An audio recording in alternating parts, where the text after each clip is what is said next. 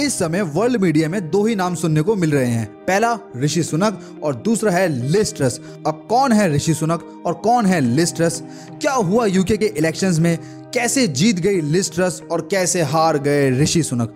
आइए देखते हैं। ऋषि सुनक और लिस्ट्रस दो उम्मीदवार हैं जो यूके में पीएम इलेक्शंस के लिए खड़े हुए थे।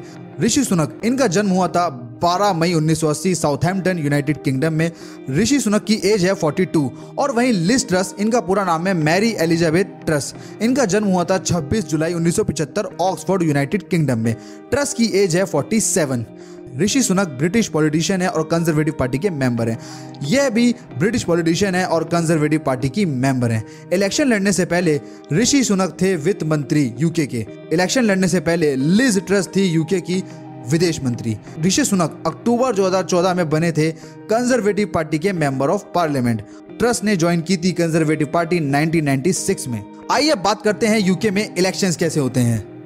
जैसे भारत में हर पाँच साल में चुनाव होते हैं, उसी तरीके से ब्रिटेन में भी हर पाँच साल में चुनाव होते हैं। जैसे भारत में दो बड़ी पार्टियाँ हैं, भारतीय जनता पार्टी और कांग्रेस, ब्रिटेन में भी दो बड़ी पार्टियाँ हैं, कंजर्वेटिव पार्टी और लेबर पार्टी। भारत में जिस तरह लोकसभा सांसद का चुनाव होता है उसी तरह ब्रिटेन में लोग हाउस ऑफ़ कॉमन्स के लिए अपने सांसद का चुनाव करते हैं। हाउस ऑफ़ कॉमन्स मतलब ब्रिटेन की पार्लियामेंट। ब्रिटेन में कुल साढ़े छह सौ संसदीय क्षेत्र हैं। इनमें से 533 इंग्लैंड में है, उनसठ स्कॉटलैंड में है 40 वेल्स में है 18 नॉर्दर्न आइलैंड में है। भारत की ही तरह ब्रिटेन में भी 18 साल के ऊपर के वे लोग जिन्होंने अपना नाम मतदाता सूची में रजिस्टर कराया है वह लोग वोट डाल सकते हैं। 16 साल की आयु के बाद रजिस्ट्रेशन कराया जा सकता है, लेकिन वोट देने का अधिकार 18 साल की उम्र के बाद ही मिलता है। इसके लिए ब्रिटेन का नागरिक होना ज़रूरी है। कॉमनवेल्थ देशों और आयरलैंड के वह लोग जो ब्रिटेन में रहते हैं, वो भी वोट दे सकते हैं। जो चुनाव लिस्ट्रस और ऋषि सुनक के बीच हुआ, वो चुनाव अलग है। कैसे आइए समझते हैं। आज से तीन साल पहले ब्रिटेन को एक नया प्रधानमंत्री मिला था, जिनका नाम था Boris Johnson. Boris Johnson Conservative Party के थे और इनकी पार्टी जीती थी तीन सीटें। लेकिन ऐसा क्या हुआ था कि बोरिस जॉनसन को इस्तीफा देना पड़ा? यूके में बेरोजगारी और महँगाई ने लोगों का दम फुला दिया। एक स्टडी के अनुसार पता चला कि ब्रिटेन में 10 में से सात लोग ये चाहते थे कि बोरिस जॉनसन अपना इस्तीफा दे। बोरिस जॉनसन ने कोरोना में लगे प्रतिबंधों का उल्लंघन करते हुए प्रधानमंत्री निवास में डिनर ऑर्गेनाइज कराया और इसी कारण बोरिस जॉनसन ऐसे पहले प्रधानमंत्री थे जिन पर 50 पाउंड का जुर्माना लगाया गया। ऐसी ही कुछ कारणों की वजह से बोरिस जॉनसन ने इस्तीफा दिया।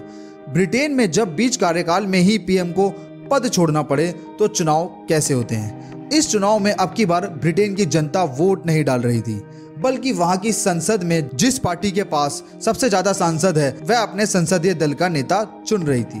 कंजर्वेटिव पार्टी के पास सबसे ज़्यादा सांसद थे। तो ऐसे में पार्टी अपना प्रमुख और देश का प्रधानमंत्री दोनों ही चुनने जा रही थी। ब्रिटेन में कंजर्वेटिव पार्टी के दो ही नेता एक दूसरे पर ही हमलावर थे। पूर्व वित्त मंत्री ऋषि सुनक और विदेश मंत्री लिस्ट्रस आमने सामने थे। ब्रिटेन में ये चुनाव अलग तरीके से हुए थे। बीच कार्यकाल में ही पीएम को पद छोड़ना पड़े तो ऐसी स्थिति में पीएम कैंडिडेट तय करने के लिए पार्टी के भीतर ही वोटिंग होती है। पार्टी के लोग वोट देकर पीएम को चुनते हैं। यह प्रक्रिया दो चरणों में होती है। पहले चरण में पार्टी के सांसद वोट देते हैं।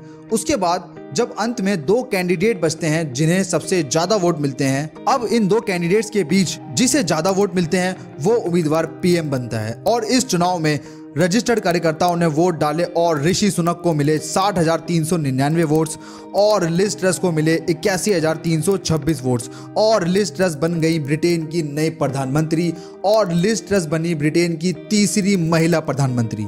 वीडियो इन्फॉर्मेटिव लगाओ तो सब्सक्राइब कर देना हमारा YouTube channel thank you so much for watching this video